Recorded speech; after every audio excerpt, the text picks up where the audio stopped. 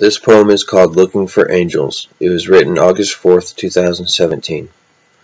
Walking through a field of wildflowers, looking for angels, taking in the intoxicating fragrance, admiring the colorful canvas around me, running my fingers through the painted petals, the bugs buzzing and fluttering about me, thorns nicking my skin and clothes, leaving their signature marks, walking through a field of wildflowers, looking for angels looking for angels. Splashing in the nearby stream, enjoying the rushing sound of a waterfall.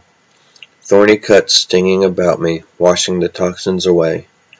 Floating on my back with my eyes closed, caring for nothing at all, yet taking it all in. Walking through a field of wildflowers, looking for angels. The afternoon sun beating down, reddening my skin.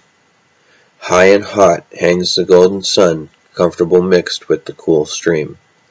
Long sharp rays brighten the surrounding beauty, missing not a single detail. Walking through a field of wildflowers, looking for angels, looking for angels.